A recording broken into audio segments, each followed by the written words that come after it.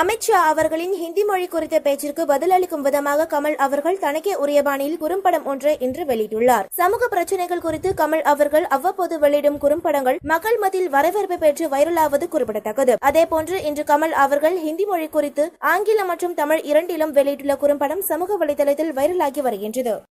பல ராஜாக்கள் தங்கள் ராஜ்யங்களை விட்டு கொடுத்து உருவானதுதான் இந்தியா. ஆனால் விட்டு கொடுக்க முடியாது என்று உறுதியாக பல இந்தியர்கள் பல மாநிலங்கள் சொன்ன விஷயம் எங்கள் மொழியும் கலாச்சாரமும் என்பதுதான். ஆயிரத்தி தொள்ளாயிரத்தி ஐம்பதில் இந்தியா குடியரசான போது அதே சத்தியத்தை அரசு மக்களுக்கு செய்தது. அந்த சத்தியத்தை திடீரென்று எந்த ஷாவோ சுல்தானோ சாம்ராட்டோ மாற்றிவிட முயற்சிக்க கூடாது. ஜல்லிக்கட்டு போராட்டம் என்பது ஒரு சிறிய போராட்டம் சிறிய வெற்றி எங்கள் மொழிக்காக நாங்கள் போராட துவங்கினால் அது அதைவிட பன்மடங்கு பெரிதாக இருக்கும். அந்த ஆபத்து இந்தியாவிற்கோ தமிழ்நாட்டிற்கோ தேவையற்றது. பெரும்பாலான இந்தியர்கள் தங்கள் தேசிய கீதத்தை அவர்கள் மொழியில் பாடுவதில்லை. வங்காளிகளை தவிர. இருப்பினும் அதை சந்தோஷமாக நாங்கள் பாடிக்கொண்டிருக்கிறோம் பாடிக்கொண்டிருப்போம். காரணம் அதை எழுதிய கவிஞர்.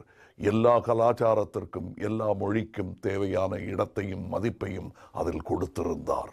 இந்தியா என்பது ஒரு அற்புத விருந்து. அதை கூடி உண்போம்.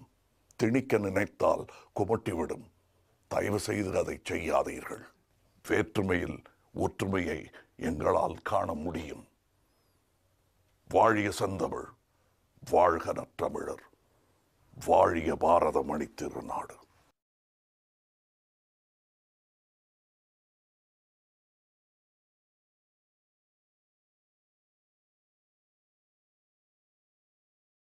Unity in diversity is a promise we made when we made India into a republic.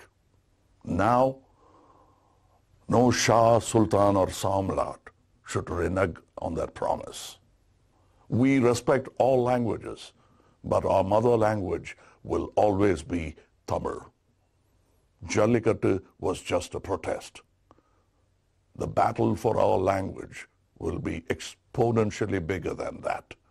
India or Tamil Nadu does not need or deserve such a battle.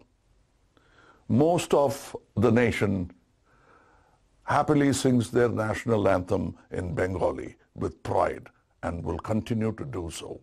The reason is the poet who wrote the national anthem gave due respect to all language and culture within the anthem, and hence it became our anthem.